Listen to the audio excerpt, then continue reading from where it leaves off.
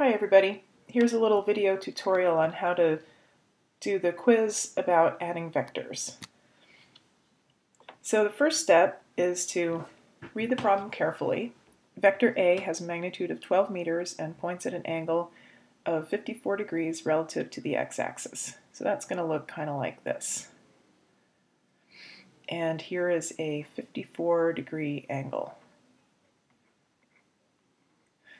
And this is going to be 12 meters long and this is vector A.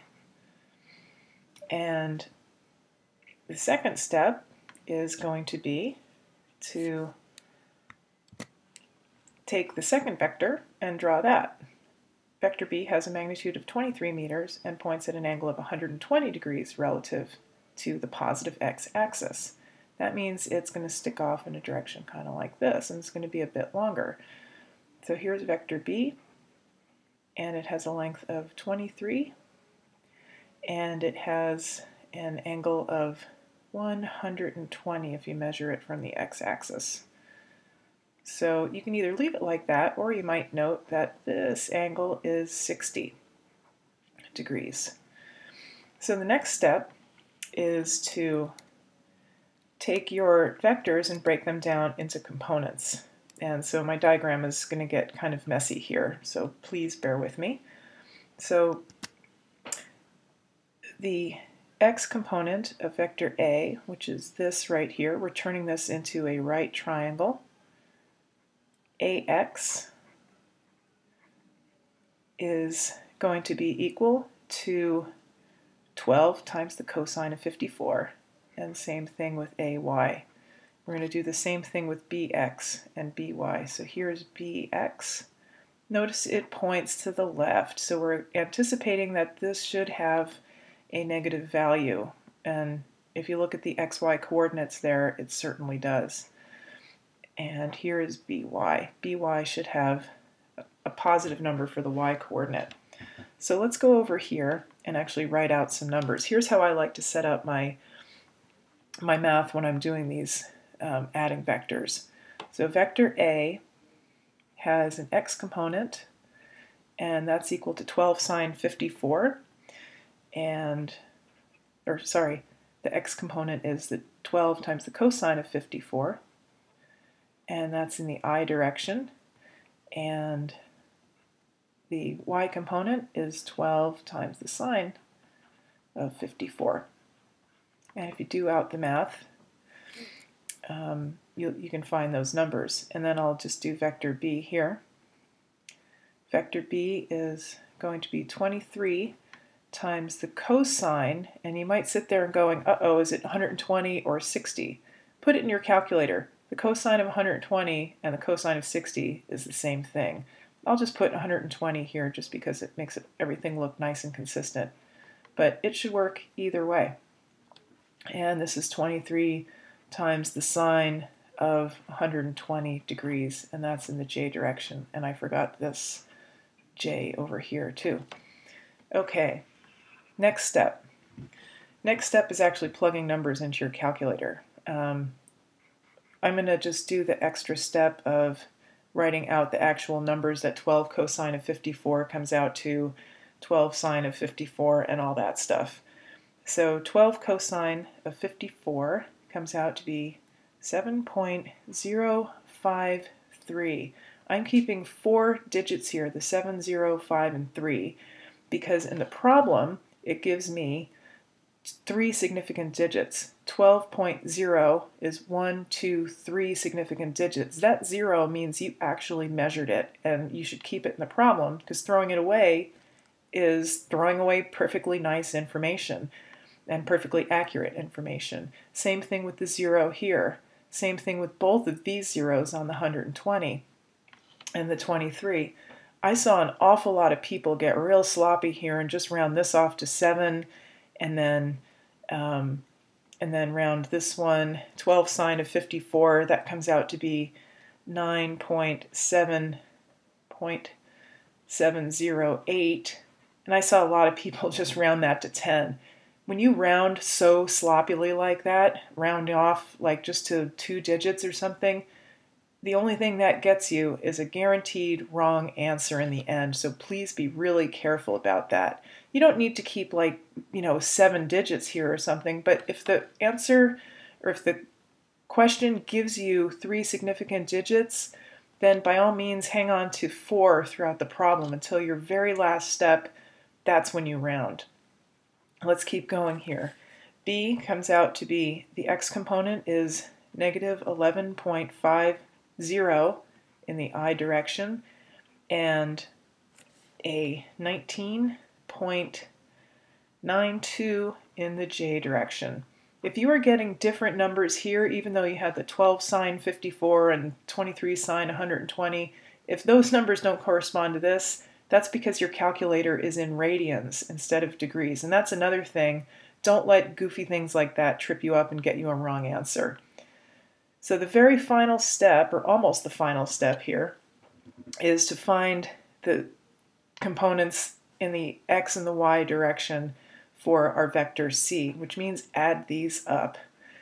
And very, very common error that I saw was that people had a positive number here. And that was grounds to repeat the whole entire proficiency quiz because that is really important. Sign errors are not little goofy mistakes. Sign errors are deal breakers. So this comes out to be negative 4.447 in the i direction or the x direction. And this is added to 29.63 in the j direction. Okay, so just take a moment and check to make sure that you understand how these numbers um, came to be. And then in the second part of this tutorial, I'll show you what you actually do with this because you're not done yet. This tells you the x and y coordinates of our vector c, but it doesn't tell us the magnitude and direction just yet.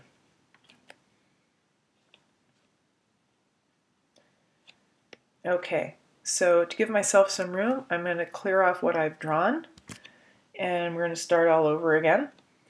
I've got vector A here looks something like that. And I've got vector B going off in this direction, a little bit longer than A. And so what we have to do is to add those together. And when you add vectors together, what you're doing is, like if you just want to do it graphically, what you would do is pick up this vector, vector A, and you have to add them tip to tail. So I would pick this up, and I would if I could figure out how to do that, pick this up and put it here. So, or putting this vector over here. So if we just take this vector and translate it over here, then it would look like this. And so we're anticipating that our resultant vector kind of points straight up maybe off to the side a little bit. Sorry about my less than artistic drawing here.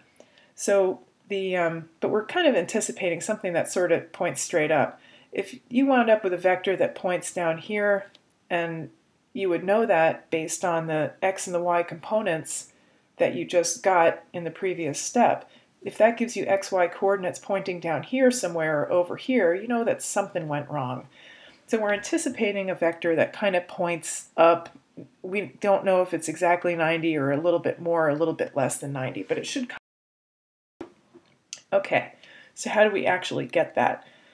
Um, so we get that by looking at the numbers that we got. We got a CX um, of, I'm going to clear this off a little bit here again. So let me just quickly draw my, my vectors on there again. So here's A, and here's B. And our vector C, which I'm going to try to draw in green here, has components of negative 4.47 or negative 4.447 and the y component was equal to positive 29.63. So that looks to me like negative about negative 4 this way and positive 29 this way. So it looks like it points somewhere up here like this. Okay, and that kind of looks like that one that I just kind of sketched out from adding the vectors graphically, meaning tip to tail, moving this guy here. it kind of points in the right direction. You can see it doesn't really make a huge difference if it's exactly right or not. So let's actually do out the math. I'm going to draw this over here. So this is what our vector looks like. Here's vector c. I'm just drawing off to the side so you can see what's going on. Um, we're going to turn this into the right triangle. Okay, here's your right triangle. Here's cx, which is the negative 4.47. So here's your origin. This is negative 4.47. This is cy, positive 29.63. You get the angle, this angle, from the tangent. So the tangent of theta is equal to the opposite, 29.63, divided by the adjacent, 4.447. You could put a minus sign in there, but on this step I just want you to be really careful because tangents, um, more than one angle has the same tangent. And so what I like to do is I just like to put in the positive numbers here and find out just what this angle is. And then we can figure out what it is relative to the x-axis. So that theta there I found to be 81.46 degrees.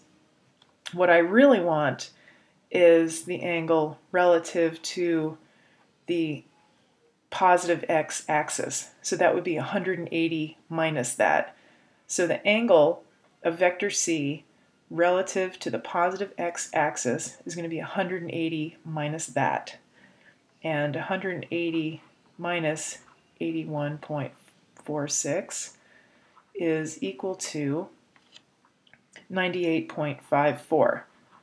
Here's where you can round it off. If you want to round this off to 98.5 degrees relative to the x-axis, that's your final answer and you're good to go.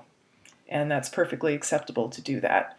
So that is your answer for the angle relative to the x-axis. All right, but we're not done yet. We still have to find out the length of c. And how do you do that? Pythagorean theorem. Square this, square that, add them together, take the square root of it, and it gives you that. So I'm just going to do, um, I'm just going to write it like this. So 4.447 squared plus 29.63 squared is equal to c squared. And when you solve for it, you find that c is equal to 30.0. It's actually 29.95 or something, but rounding properly is 30.0 meters. And that is your answer for the second part of that question. Actually, that was the first part of the question. So common mistakes that I saw was sloppy round off, taking these numbers, putting in something like 4.4. Rounding off like that is guaranteed to get you the wrong answer. So don't do it until the very last step. You don't have to keep, you know, 15 decimal places here.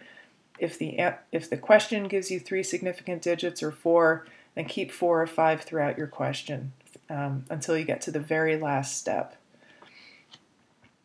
The quiz was um, there were a couple of different problems that everybody got. There were variations in whether it was 12 or 15 or 17, and then here, same thing, whether it was 54 or um, you know whatever the value was for that. So, all right, well, hopefully that was a good tutorial, and let's get it right on Wednesday.